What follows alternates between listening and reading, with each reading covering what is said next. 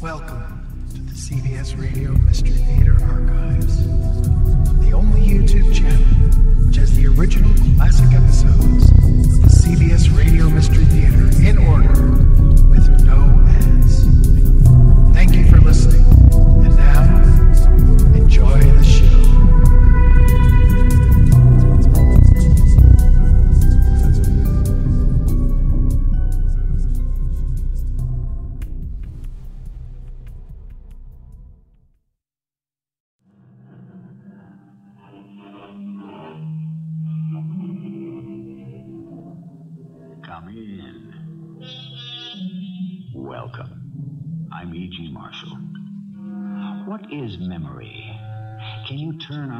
Mental computer and select or program what you wish to recall? Or does the mind have, as it were, a mind of its own? If it can withhold events you wish to forget, can it make you remember events that never happened? Must all my yesterdays be a plague, said Edgar Allan Poe, forever to haunt me? Would that the past were a dream to be shaken off with the morning. Now, you walked right into me. Why don't you look where you're going? I'm Terribly sorry. I wish I could. I did I hurt you? No, knock the breath out of me. Don't tell me you didn't see me. Well, I'm afraid it's true. I'm I'm blind. Oh, my turn to apologize. You, you always walk like this at night. No white stick, nothing. White stick. I hope I won't always be blind.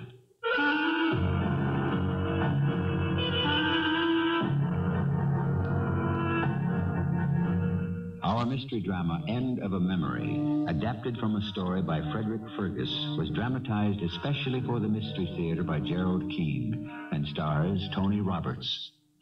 I'll be back shortly with Act One. He had everything to live for, did Gilbert Vaughan. A sizable income, good education, and many interests. True, his mother and father had died in the epidemic that had taken the lives of many in England, but that happened when he was 14. He was now 25. Yes, for all his money and all his friends, Gilbert was single and he was lonely. It was my fault, of course, that I had no purpose in life. The mistake I made was to feel sorry for myself. I had no idea what troubles could be, nor the slightest inkling that my life could suddenly take a turn for the worse. Until that morning when my eyes started to fail. In broad daylight, darkness closed in. Everything went from blurred to dim to quite black. It all happened so quickly, I barely had time to get to my doctor's office.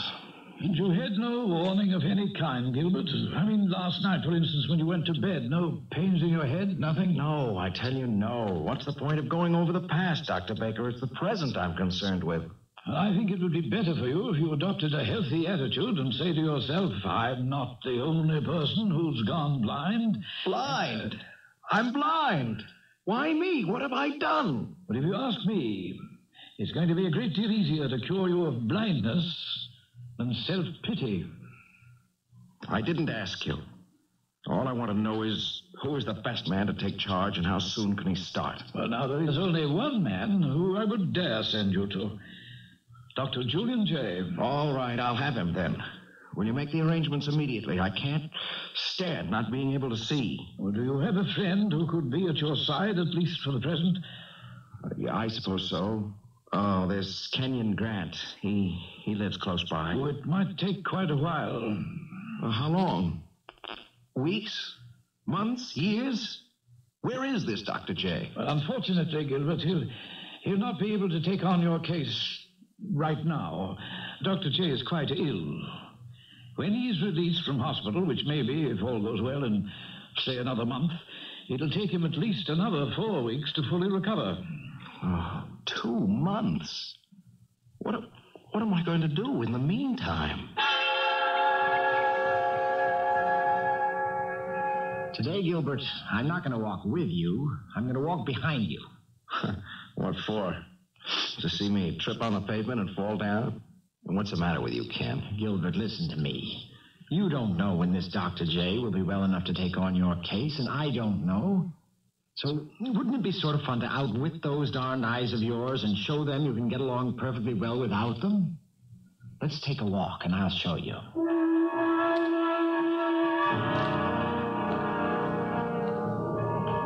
All right. 63, 64, 65. Stop. We're exactly back in front of your front door. Turn right. Good. Up four steps. Fine. Now, open the door with your key. You can you can stand here and catch your breath, Gilbert. You made it. It's simple. Just count the steps from this house to the corner, count back, and there you are. Hmm. I do feel better for it, Ken. Not at the mercy of those darned eyes. The same goes for the inside of your house. Count. Ken, how can I thank you? Thanks are just words. I shall do as you say, with deeds. I've relied on you too much already. That night, I went to bed full of confidence. I could make my way anywhere in town if I put my mind to it. Unaccountably, I awoke during the night. Couldn't get back to sleep. And thought, well, why not? Nobody will be about. I got dressed, went down to the street, turned right, and started counting. I don't know what I could have been thinking of. Did I lose count? But on my way back, Here now, what do you think you're doing? You walked right into me. Why don't you look where you're going? I'm terribly sorry. I wish I could. Did I hurt you? You knocked the breath out of me. Now, don't tell me you couldn't see me. But I didn't. You see, I'm I'm blind. Oh, oh, well, that beats all. Oh, my turn to apologize. You go out walking every night, no white stick, nothing. White stick? I'm not planning on always being blind. Where do you live? On Walpole Street. Oh, well, this is Henley. This. How did I get here? Well, I, I think I know your street. It's not far. I'll take you. It's funny, I've been counting my steps, too.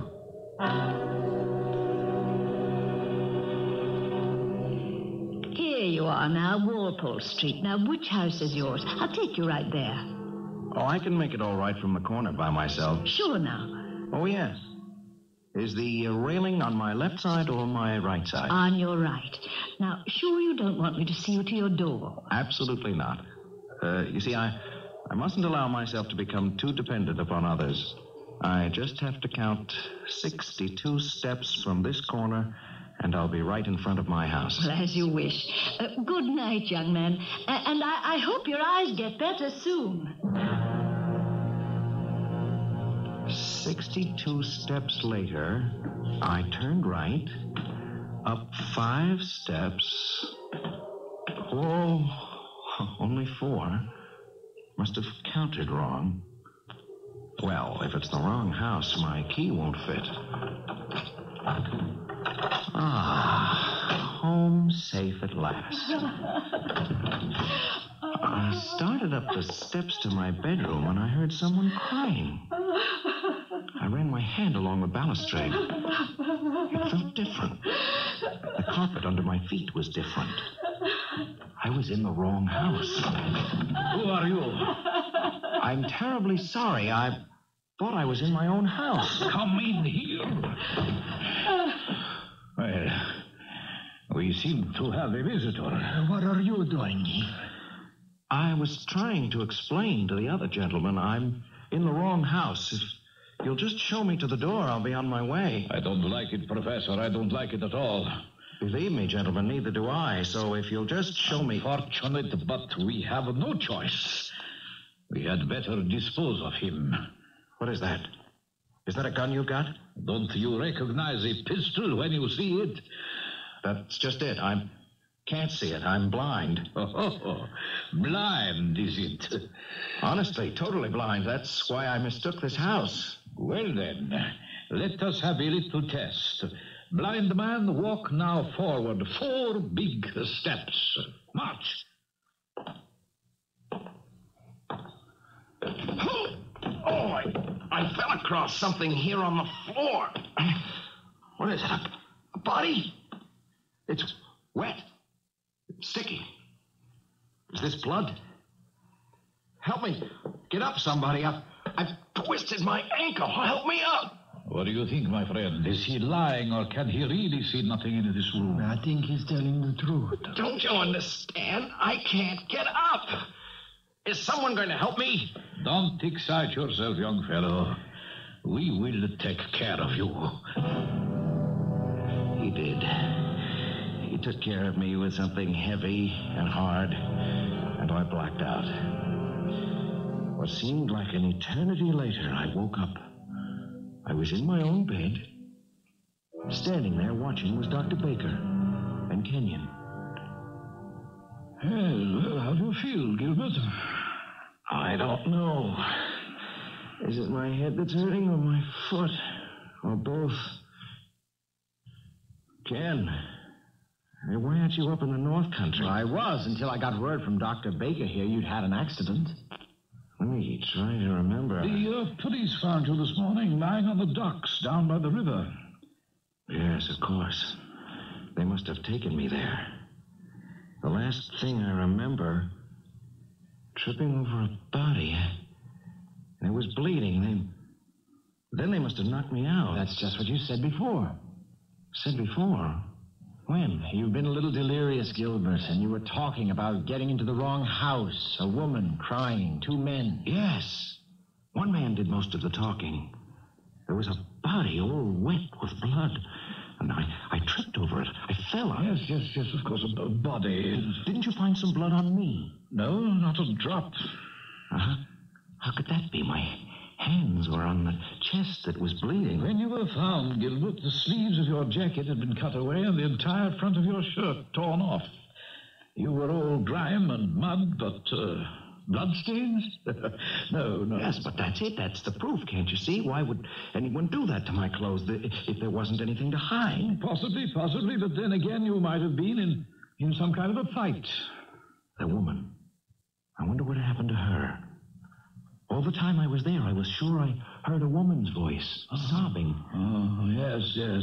Um, uh, Gilbert, I want you to drink this. It'll make you sleep. You don't know how I wish I'd had the use of my eyes. Then I could have seen everything the two men, the body. Yes, Gilbert, I, I'd say you don't know how fortunate you were. If all this really happened to you and you had been able to see it, it's quite possible right now that you'd be dead. Do you detect a note of disbelief in Dr. Baker's voice? He doesn't appear to quite believe Gilbert's story of the body, the two men, and the woman. What a fragile thing truth can be if it is shaken by doubt. However, it is rare indeed that Mystery Theater brings you a hero who cannot ultimately prove his word. Besides, you and I heard the strange goings on with our own ears. I haven't forgotten, I advise, this would be an account of the perverseness of memory. It will be. Don't worry. Remembrance of the past has been a theme for writers, poets, and painters alike. Who hasn't seen and been intrigued by Salvador Dali's extraordinary painting of the soft watch, of time bent out of shape, of what Dali calls the persistence of memory? The mystery of the body and the sobbing woman was not solved. Kenyon Grant told me a house to house police search on Walpole Street turned up nothing. Dr. Julian Jay performed the operation. My eyes were as good as new, and he sent me to a warm climate to recuperate. Kenyon and I decided on Turin, Italy. Kenyon, where are we? On the Via di Po. What, again? I don't think being able to see gives you any better sense of direction. well, then why don't you lead the way? We'll never get to know Turin if we keep walking around in a circle. It's darn uncanny. Always we end up right back at the Church of San Giovanni. Anyway, we've kept to our promise not to go inside picture galleries, monuments, shrines, churches, or any of the other tourist traps. You might just have to break that vow. Never. What if I told you I have just seen the most incredibly beautiful girl go into the Church of San Giovanni? I'd say, what are we waiting for? The girl was quite a beauty. But her most mesmerizing quality was a strange and faraway look in her eyes. Kenyon and I stood silently and stared as she knelt and prayed, and then was joined by an elderly lady. Together they left the church. We followed and stood on the steps watching as they slowly walked across the square. Tell me, senor, do all English gentlemen stare at young ladies they don't know? Now, wait a minute. Senor, an Englishman travels through your fair land to see and praise all that is beautiful. If we've done wrong, will the senor convey our regrets to the lady? Uh, your wife, sir? Or should I say, your daughter? She is neither. Ah, then, a friend. Let me congratulate you, senor, and also congratulate you on your proficiency in our language. I have spent many years in England. Many years? Well, I should not have thought so, since the senor has not picked up a particular trait of the English. And what might that be? To mind your own business. Englishmen. I have never trusted them. What an extraordinary fellow. Very arrogant, wasn't he? Hey, look, Ken, there she is. Walking back now with the old lady. Oh, there goes some crusty old gent over to them. He's tipping his hat. See? By the fountain? Yeah, I guess everyone knows everyone else in a small Italian city. Our drama is not over. There goes our friend, Mr. Nosy Parker, to join the group. Oh, so he did know the girl after all. Kenyon, I have got to meet her. I wish you luck. No matter how many times I went back to the Church of San Giovanni, I never saw that girl again. My heart ached, but she and her elderly companion passed out of my life. Kenyon went back to Scotland, where he and his mother had a shooting lodge, and I returned to London. Then, call it coincidence, I prefer to call it fate. One day I was strolling down Regent Street, and there she was. That girl. She was alone. I followed her to Hobart Gardens to a very respectable looking boarding house. Determined to meet her, I took rooms in the same house, and every day sat in the park opposite, watching. One morning she came out alone, and without thinking, walked across the road, right into the path of a carriage. Look out! Driver, rein in your horses! I was at the girl's side in an instant, scooped her up and carried her back to the park and sat her down on the bench. That was close. Yes, it was. Allow me to introduce myself. Gilbert Vaughan. How do you do? Uh, uh, what is your name? Pauline March. I have taken rooms in the same house across the way where you live, Miss March. I was just going to the chemist's to get a prescription for Teresa. Oh, yes, Teresa. Is that your companion? A servant. She's ill. Oh, I'm, I'm very sorry to hear that. Nothing serious, I hope? Well, I think I've lost the paper with the prescription on it. It, it was from our Italian doctor. I could write to the professor for another prescription. I'm afraid you've quite lost me. Who is the professor? Yes, I, I could do that. I think he may still be in Turin. Uh, is he? Uh, you've not been long in England, Miss March? Sometime. Some months. I saw you in the spring. In a church in Turin. Turin? Italy? You saw me. At San Giovanni. You were there with your old servant, Teresa, I suppose. Uh, one morning? Yes. We often went there. Uh, you were English? Your name is not Italian. Yes. I am English. Your home is London? You're not going back to Italy? I don't know. I can't tell. It will depend upon the professor. Oh, yes. Uh, the one in Turin. Teresa said he's arriving here in a few days. Thank you, sir. It was pleasant talking to you. I shall walk with you tomorrow in the park. Like that. Out of the blue. The next four days, we spent the afternoons together, walking and talking. Her chaperone was ill. Did Pauline like me? Care for me at all? It was all quite maddening, this girl. So beautiful and yet so exasperatingly vague. Uh, you are the young man who saved my niece's life, yes? Oh, it was nothing. I, I just happened to be there at the right time. Do you wish a reward? Is that why you asked me into your rooms?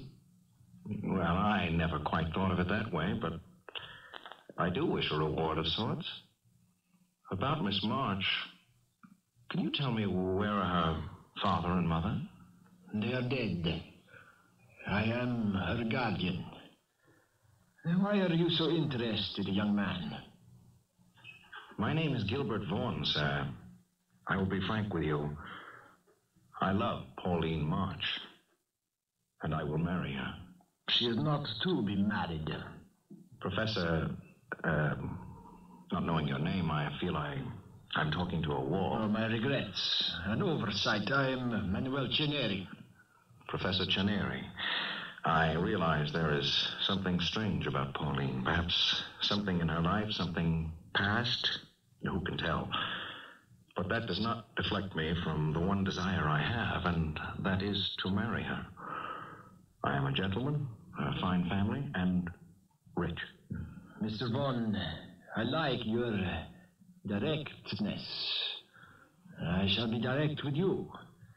You say you are well off. Would you be able to satisfy me with some proof? Happy to. If you'll excuse me, I'll go to my desk and write a few lines to my attorneys, asking them to give you the fullest details. Fine. Shall we meet tomorrow at 10 o'clock?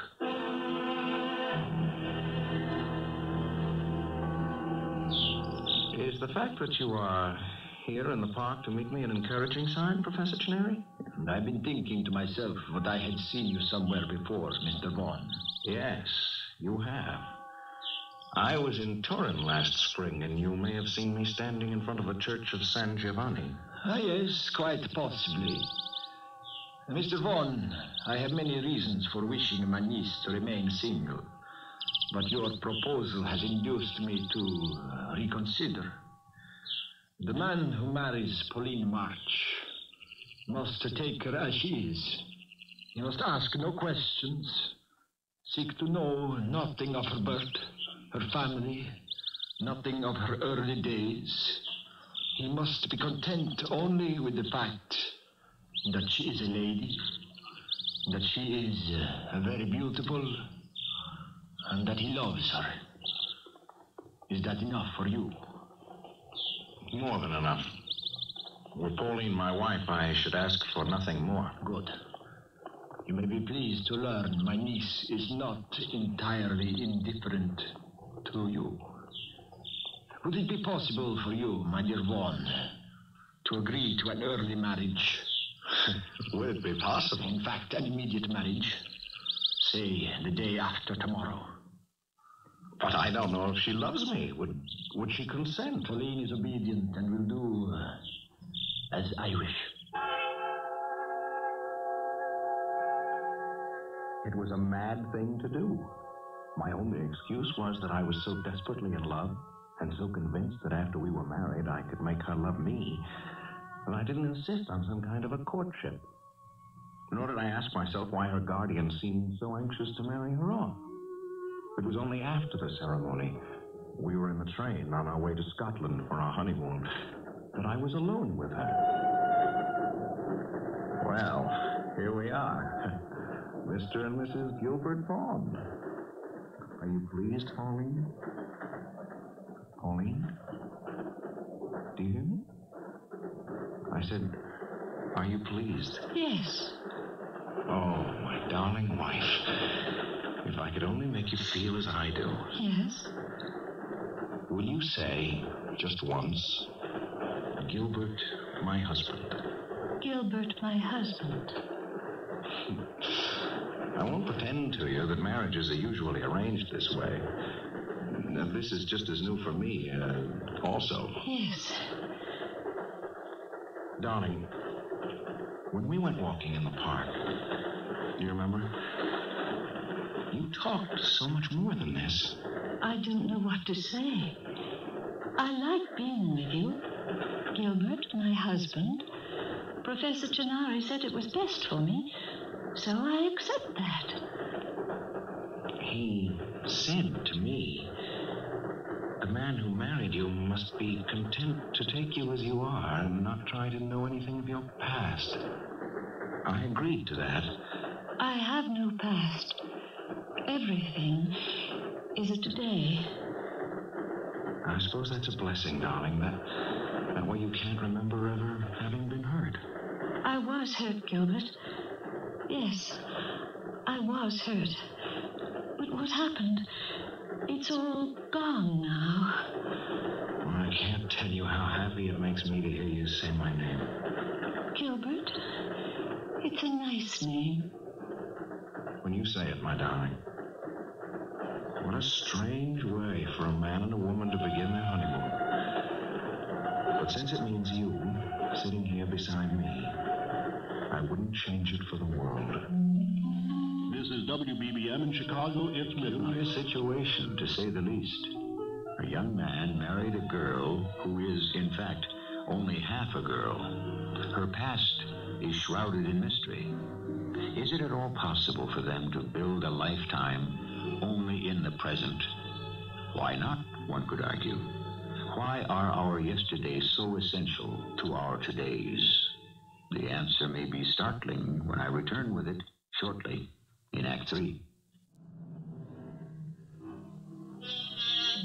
We begin Act Three with a dilemma wrapped in an enigma. Who is Pauline March, now the young Mrs. Vaughan? The honeymoon to Scotland was hardly that. A young man married to someone with memory missing, the power of reasoning absent, the feeling of emotions quite beyond her grasp. Why could she live only from day to day? I had to know. I could no longer remain married in name only to this beautiful creature, not only cut off from the past, but apathetic in the present. Kenyon Grant and his mother were returning to London. I prevailed upon the good Mrs. Grant to take care of my Pauline while I played detective. I returned to Turin, Italy, to the very spot in the square of San Giovanni where I had first seen Pauline. Welcome again to Torino, Englishman. Signor, yes, I remember. I'm very glad to see you. You have come to Italy to stare at more of our ladies? No, I'm here to find Professor Ceneri. And I know you can help me.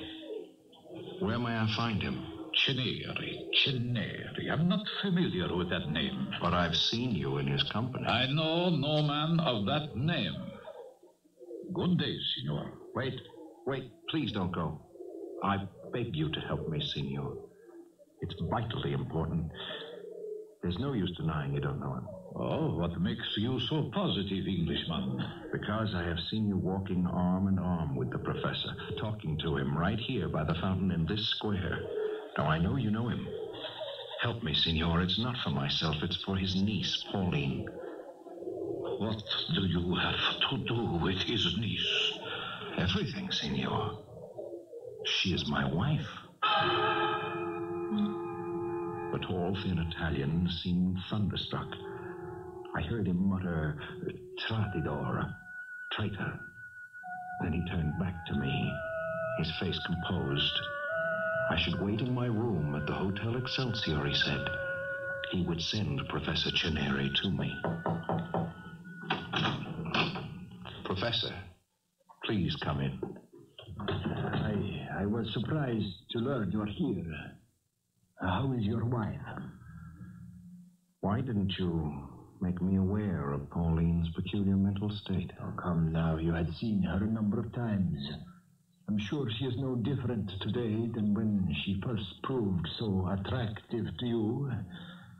In fact, I'm counting on marriage to help her regain. Uh, uh, how can I say it? Her past? I believe that little by little her memory may be built up again. Or it may return as suddenly as it left her. So, Pauline has not always been like this. Some years ago, she received a great shock. A sudden loss. The result, her past was blotted out. Events disappeared. Friends became strangers. She was, as you bet her, born again. What was the shock that did this to her? That is one of the questions I cannot answer. Yes, but I'm her husband. I have a right to know. You have a right to ask, and I have a right to refuse. Can you answer me this question? Who is the gentleman who arranged this meeting? Well, that I can tell you. His name is Macari.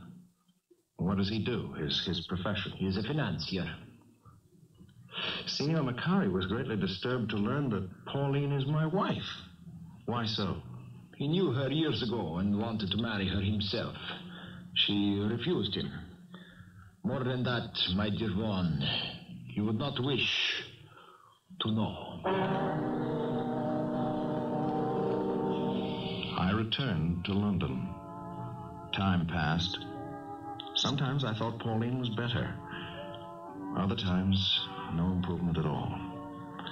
Dr. Baker came, sent specialists. They all said the same thing. She might recover if she could relive the exact circumstances which caused this block. It seemed hopeless until that morning when I received a visitor. Signor Vaughan? Signor Macari. Ah, you know my name. As you know mine, the professor has told us. What brings you to London? How is Pauline? Improving, I hope, little by little. You may find it better to have a wife who cannot remember her past. I might I see her. You give me an idea. You knew Pauline years ago. Yes, senor, I did. Well, it occurs to me that if she were to see you, senor. It is one of the reasons I am here. Stay where you are. I shall fetch her. Pauline, will you look at this gentleman closely? Yes. I am. Pauline, do you remember me? No. Let me take you by the hand. No. Pauline, it is a long time since we last met, but you cannot have forgotten me. Try and think who it is, my darling. Non mi ricordo.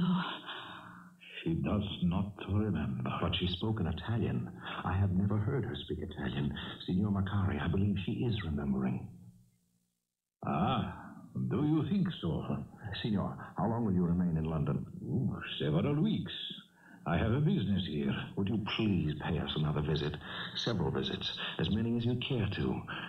I believe that your presence might be the key to my wife's recovery. Signor Macari had not been gone five minutes when Pauline took me by the hand in a fierce grip and pulled me out the door. Her face was fixed, immovable, her eyes wide. Something in her disordered brain was compelling her to go somewhere as quickly as possible. My hand in hers, we ran this way, that way. She seemed uncertain of the street. Finally, we came to a house not unlike mine. Up the steps, four of them. And then she tried the front door. Open door. It is locked. Pauline, darling, I don't have the key. It's it's a deserted house. Open door. I must go in. Yes, but it's locked, Pauline. We can't go in there. Open. Hurry. All I have is the key to our house. All right, I'll try. Sometimes, who knows? I had once before unlocked a door thinking it was my own. A feeling of horror ran through me. This was no coincidence. I followed Pauline up the dust laden stairs and into a room. Yes, yes, it was. I could sense immediately it was the very room into which I had come two years before. Blind. Pauline ran to a room beyond. I ran after her. We shouldn't have come, Anthony. And why so late at night? I only did as you asked because it was your birthday. But promise me you'll stay here with me until they go. I wish they wouldn't be so angry. Pauline, what are you trying to tell me? I don't trust them, Anthony. Especially him. Please, for my sake, please, Anthony, don't go in there.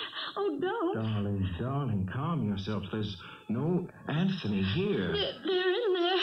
Anthony is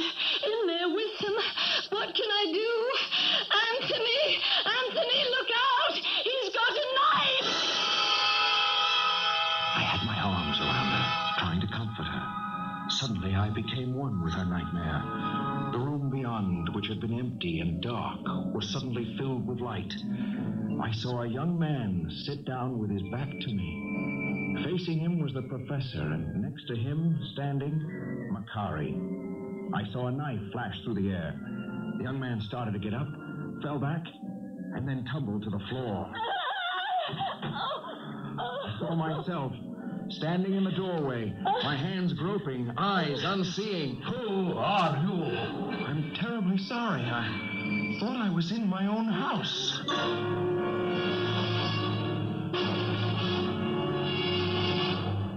Well, Gilbert, I've given your wife a sedative. I'm glad you called me. What, uh, what happened? Dr. Baker, if I were to tell you what Pauline and I have been through, you wouldn't believe it. Whatever it was, I tell you right now, I've noticed quite a change in her. She seems much more at peace. It just may be that tonight was a turning point. The next morning, Signor Macari appeared. Good day, Mr. Vaughan. I am back just as you requested. I do so wish to help you. Why did you murder a man two years ago in a house not many steps from here? Are you mad, Mr. Vaughan? On the 20th of August, you stabbed to the heart a young man. The witness to your murder was Professor Ceneri. It was you, the blind young man. You. Why did I let him talk me out of finishing you off? You don't even deny it. That man, I want to tell you his name, was Pauline's lover. Hers is a noble family. The only punishment for such betrayal is death. Yes, I say it again, Mr. Vaughan. He was your wife, Pauline's lover. He had no wish to marry her, and so Ceneri and I killed him, even in her presence. I don't believe you. Please leave this house immediately. As you wish. But think, Englishman, for what other reason would I willingly admit to you such an act? Willingly or not, you have admitted to murder, a fact in which the police would be very interested. And where would you tell them to look for the body? What proof do you have that all this happened? You forget. I was there. Were you indeed? Did you see all this with your own eyes? Who would believe the word of a witness who was blind?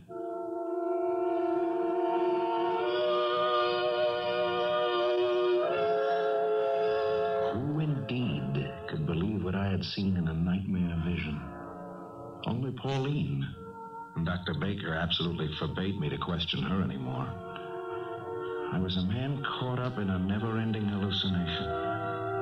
Then one day, an unexpected visit. I could no longer stay away, Mr. Vaughan. I may risk my life here, but so be it. How is Pauline? Professor Ceneri, at the moment, she's in limbo. She's somewhere between the past and the present. I believe some of her past has returned, but instead she's lost the memory of her marriage to me. What brought this about? A visit from a man you know. Macari. Professor, had Pauline ever a lover who dishonored the family name? Who has told you such lies? Who was the young man murdered by Macari in a house not far from here? What is all this? Who, where did you hear such a story? A story? You were there, Professor. And so was I. It was you. And now I recognize you. But uh, how could you see? Nothing. But I heard everything. Professor, you are an accessory to a murder. It was. It was a. I couldn't stop him. Killing was not my idea. I, I loved that boy. I want the truth. Who was he? He was Pauline's brother. My sister's child. He, he was Anthony March. Anthony and Pauline were the two children of my sister, who was Italian, and her husband, an Englishman. Anthony turned out no good. His mother and father knew it, and before they died, they entrusted into my care their money for the children. Anthony knew this and borrowed against what was coming to him, spent that, and then he borrowed all the funds Pauline was to inherit. He threw that away on gambling, horses, bad friends. Who did he borrow from? Macari. The day Anthony came of age, Macari demanded the thousands of pounds he had loaned the boy. I gave him Anthony's inheritance, and no more. I would not give him Pauline's share. This infuriated Macari to the extent that he killed poor Anthony. I was to be the next victim, but you came in, and even without being able to see, you saved my life. Where is Anthony's body now? I ransomed it with Pauline's money, and it is buried in the family vault behind the church of San Giovanni. Gilbert? Gilbert, where are you? Go ahead, my boy. Take care of her. Tell her her uncle was here, and that I sent my love.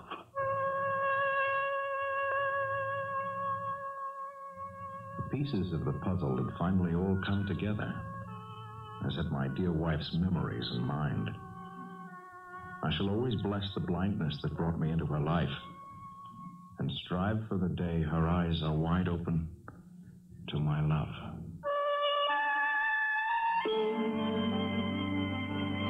What happened to Signor Macari? He was caught. But most important, what of Gilbert Vaughan and Pauline? A trick of fate, you might call it. A young man who once was self centered, selfish, and spoiled now had to devote himself to healing and courting the girl he was married to. I'll tell you more when I return shortly. In a Shakespeare sonnet, it says, When to the sessions of sweet silent thought I summon up remembrance of things past, I sigh the lack of many a thing I sought. However, I am glad to report to you that no sighs, nothing past, no question marks will assail these young people embarking on a life together. Our cast included Tony Roberts, Carol Teitel, John Lithgow, and Ian Martin. The entire production was under the direction of Himan Brown. I hope you enjoyed this episode of CBS Radio Mystery Theater. If you've enjoyed this and want to hear more, please subscribe to this channel. You can also visit my other YouTube channel by searching Mr. Brian McCarthy. YouTube search bar. Then, thanks for listening.